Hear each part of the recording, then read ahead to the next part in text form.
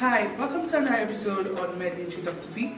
And this time we'll be talking on cardiovascular physical examination. So basically we're looking into inspection, palpation, percussion, auscultation. Let's go into it right now.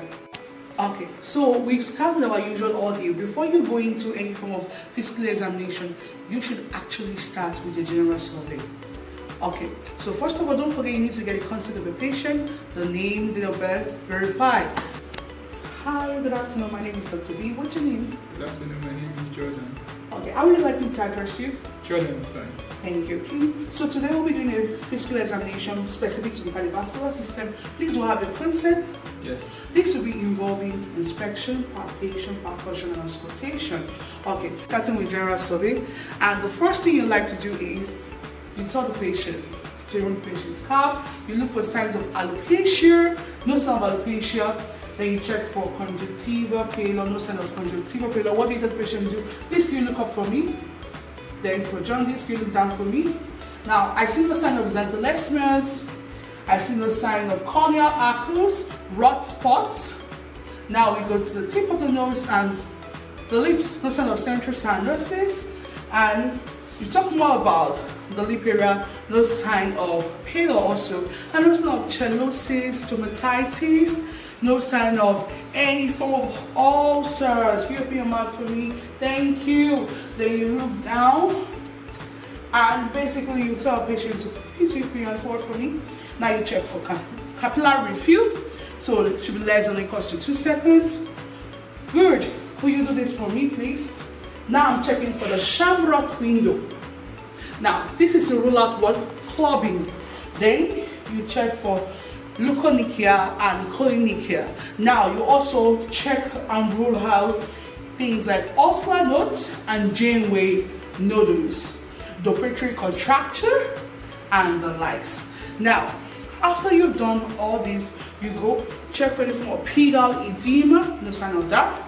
Then you start the inspection proper. But now, one of the things you need to look at is to check your patient breathing. Check for any form of cardiorespiratory distress. So what will you be checking on cardiovascular distress specifically? That'll be, first of all, you see if there is any sign of we checked initially. You see if there's any form of diaphoresis. It's a cold sweat. You also check if there is any form of shortness of breath. You also check if there's any form of cyanosis. These are all signs of cardiovascular distress and more. Now, after you're done with that, the next thing you do is to check the patient's vitals. Now, I'm just going to talk about that because if you want to know how to actually check the specific vitals, go to the vitals video. So you check for the pulse and you also check for the blood pressure. Now, after that, you also check your respiratory rate, then we're good to go, we're good to the examination proper. In the examination proper, we go into inspection, we start with the JVP test and carotid pulse. Now we go to the JVP examination. So first of all, you need to position your patient properly, ensure your patient is in a state of comfort. Now, you then put the bed at a level of 30 to 45 degrees. This is very important. Okay, and the next thing you do is tell your patient, can you look away from me? All right. Then we work on the potential line. Now, so when it comes to JVP, what you're looking for basically is your internal jugular vein external jugular vein. Where do we find your lower neck? You can be found between the two heads of the X, SCM muscle, the sternocleidomastoid muscle. So from the sternal, in between the sternal head and the clavicular head, you find the internal jugular pulsation, and lateral to the clavicular head, you find your external jugular vein pulsations. Now, as you go up, the internal jugular vein pulsations become more posterior and the external jugular venous pulsations become anterior. So first of all, we'll place the meter rule at the sternal angle, the angle of Louis, and from the sternal angle to your right atrium, JVP is about 5 centimeter H2O. Then from the highest point of pulsation by checking to the sternal angle, it should be about one centimeter to about three centimeter H2O So let's look at this. So this how you do this. Don't forget this should be right angle to the rule at the highest point of oscillation. So looking for the point of highest pulsation, that is it right there.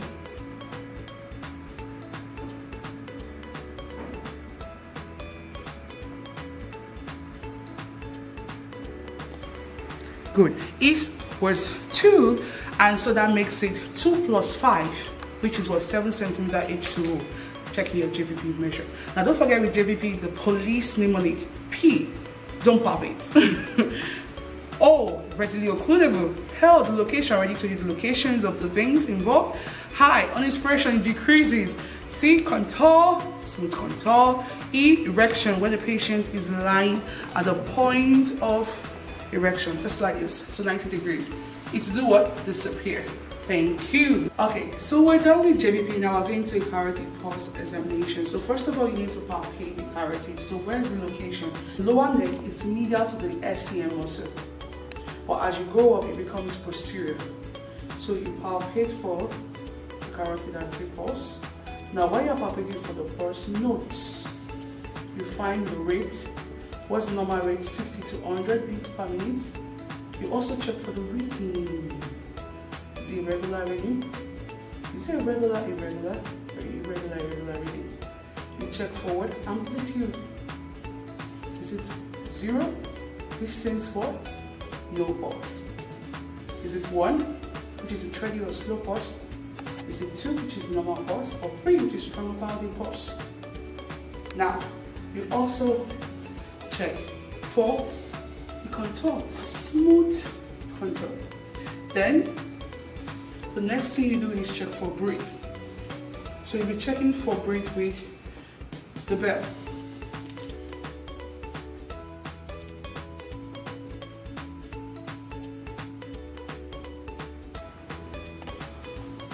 And with that, we're done with the carotid pulse examination.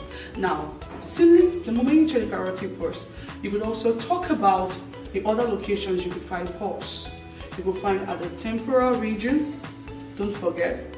You could find carotid, the brachial, the radial, the femoral, the popliteal, the apical impulse, which we're still going to do by the way, the posterior tibia, then you also have the dorsalis pedis.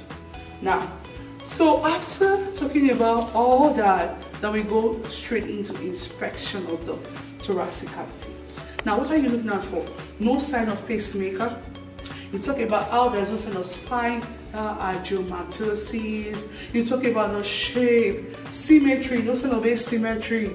You talk about the fact that you can't see no sign of pectus excavatum, pectus carinatum, no sign of barrel chest, no sign of pigeon chest.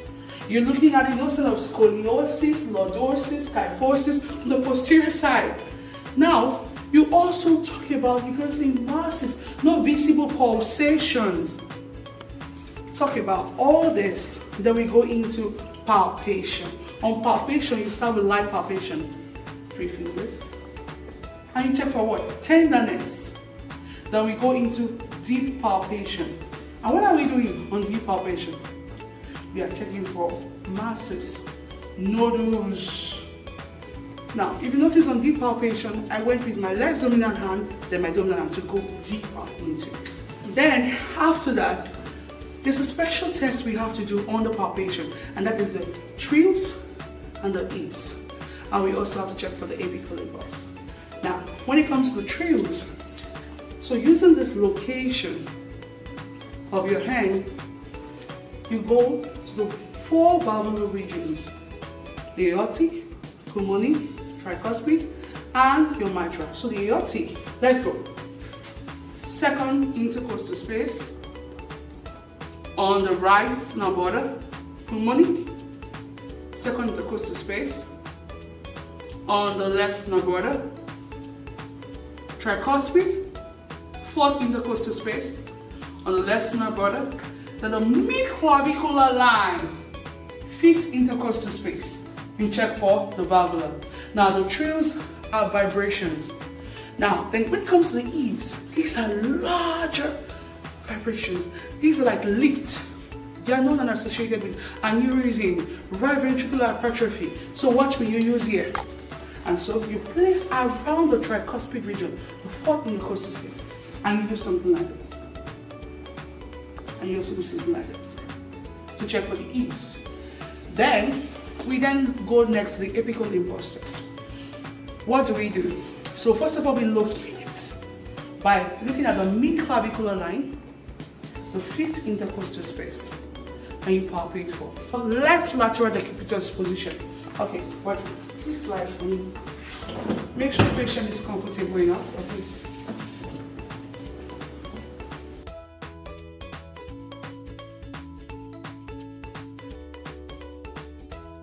So you palpate for that. And the next, you also auscultate. Fifth, mid-clavicular line, fifth intercostal space, and you put the patient at outward, the lateral decubitus position. And you auscultate for one full minute. And when you're done with that, we move into percussion. Usually we don't percuss the hard, but most of the time people can actually get the PMI or the apical impulse due to maybe a tickle, chest wall, due to those who gym a lot, or those who are plus size, or it's easier on thinner walls. Now, why do we not check for percussion? So basically we're trying to rule out cardiomegaly. So first of all, don't forget the thoracic region, whenever you percuss, you should listen to resonance. But around the third to the fifth or sixth intercostal space, on the left side, you will hear dullness, signifying a heart. So if you're hearing dullness around the second, you know it should, it should signify to you what some form of cardiomegaly as a chord. So watch your pleximeter finger, your plexor finger, DIP. So watch as I'm when the purple chords coming from up. You can see I'm going on my DIP joints.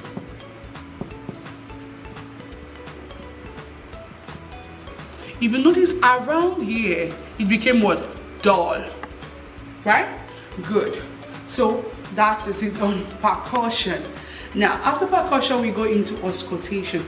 On auscultation, we go to listen to the four valvular regions.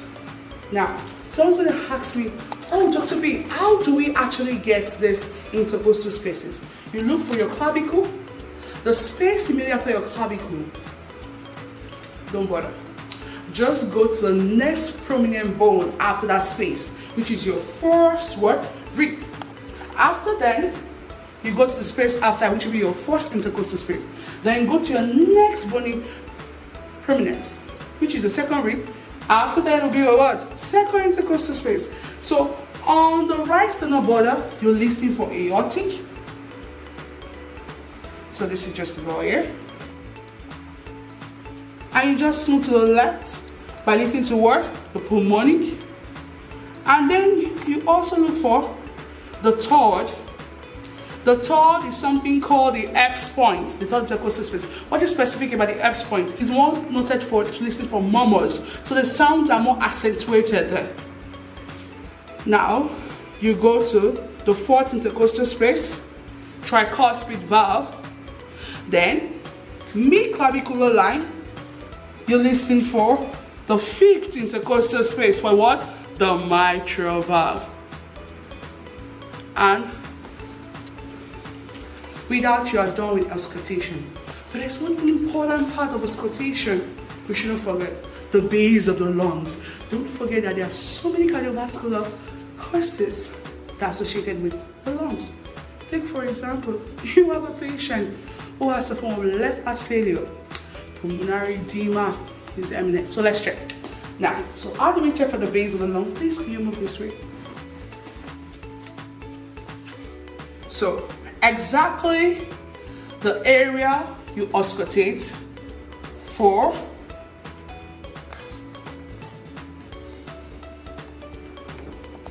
if you remember our respiratory video so what are you checking for any form of crackles so basically, You listen to the lungs while the patient is breathing in and out. And with that, we're done with this examination. Thank you for watching.